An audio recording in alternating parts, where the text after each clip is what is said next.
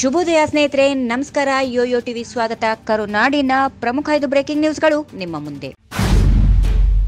ಭ್ರಷ್ಟಾಚಾರದ ಕುರಿತು ವಿಧಾನಮಂಡಲದಲ್ಲಿ ಚರ್ಚೆ ನಡೆಸಲು ಸರ್ಕಾರ ಸಿದ್ಧವಿದ್ದು ಚರ್ಚೆಯಿಂದ ಪಲಾಯನ ಮಾಡೋದಿಲ್ಲ. ನೀವು ಸಿದ್ಧರಾಗಿ ಎಂದು ಮುಖ್ಯಮಂತ್ರಿ ಬಸವರಾಜ ಬೊಮ್ಮಾಯಿ ಅವರು ವಿರೋಧ ಪಕ್ಷದ ನಾಯಕ ಸಿದ್ದರಾಮಯ್ಯ ಅವರಿಗೆ ಸವಾಲು ಹಾಕಿದರು.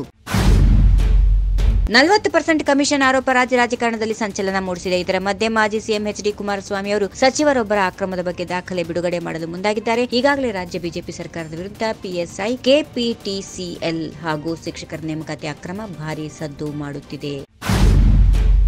ಪಂಚಮಸಾಲಿ ಸಮುದಾಯಕ್ಕೆ ಎರಡು ಎಂ ಮೀಸಲಾತಿಗೆ ಮಾಜಿ ಸಿಎಂ ಬಿಎಸ್ ಯಡಿಯೂರಪ್ಪ ಅವರು ವಿರೋಧ ಮಾಡುತ್ತಿದ್ದಾರೆ ಎಂಬ ಶ್ರೀ ಬಸವರಾಜ್ ಜಯ ಮೃತ್ಯುಂಜಯ ಸ್ವಾಮೀಜಿ ಆರೋಪಕ್ಕೆ ಪುತ್ರ ಬಿವೈ ವಿಜೇಂದ್ರ ಸ್ಪಷ್ಟನೆ ಕೊಟ್ಟಿದ್ದಾರೆ. ಯಾರೋ ರಾಜಕೀಯ ಕಾರಣಕ್ಕೆ ಸ್ವಾಮೀಜಿಗಳ ಮನಸ್ಸು ಕೆಡಿಸಿದ್ದಾರೆ. ಯಡಿಯೂರಪ್ಪ ಹಾಗೂ ನನ್ನ ಹೆಸರನ್ನ ಈ ವಿಚಾರದಲ್ಲಿ ಪದೇ ಪದೇ ಎಳೆದು ತರುತ್ತಿದ್ದಾರೆ. ಯಡಿಯೂರಪ್ಪನವರು ಮೀಸಲಾತಿಗೆ ವಿರೋಧವಿಲ್ಲ ಎಂದು ಸ್ಪಷ್ಟಪಡಿಸಿದ್ದಾರೆ.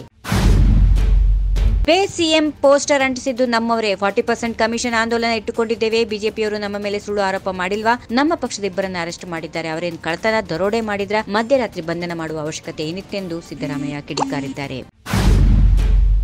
ಕಾಂಗ್ರೆಸ್ನ ಪೇ ಸಿಎಂ ಅಭಿಯಾನಕ್ಕೆ BJP Siddaramaiah, DK Shivakumar photo ಹಾಕಿ ತಿರುಗೇಟು ನೀಡಲು ಮುಂದಾಗಿದೆ. ಸ್ಕ್ಯಾನ್ ಕೋಡ್ ಮೇಲೆ ಸಿದ್ದರಾಮಯ್ಯ ಡಿಕೆಶಿ ಚಿತ್ರ ಹಾಕಿ ರಾಜ್ಯ ಲೂಟಿ ಮಾಡಿದೆ. ಈ ಭ್ರಷ್ಟ ಜೋಡಿಯನ್ನ ರಾಜ್ಯದಿಂದ ಕಿತ್ತೆಸೆಲಿ. ಇದನ್ನು ಸ್ಕ್ಯಾನ್ ಮಾಡಿ ಅಂತ ಟಾಂಗ್ ನೀಡಿದೆ. ಸಮಾಜವಾದಿ ಮುಖವಾಡ ಧರಿಸಿ ರಾಜ್ಯವನ್ನ ಲೂಟಿ ಮಾಡಿರುವ ಕಾಂಗ್ರೆಸ್ ಗಂಜಿ ಗಿರಾಕಿಗಳಿಂದ ದೂರವಿರಿ ಎಂದು ಅಭಿಯಾನ ಮಾಡಲು ಸಿದ್ಧತೆಯನ್ನ ನಡೆಸಿದೆ. ಹಿರಿಯ ನಾಯಕರ ಗಮನಕ್ಕೆ ತಂದು ಅಭಿಯಾನ ನಡೆಸಲು ಮುಂದಾಗಿದೆ.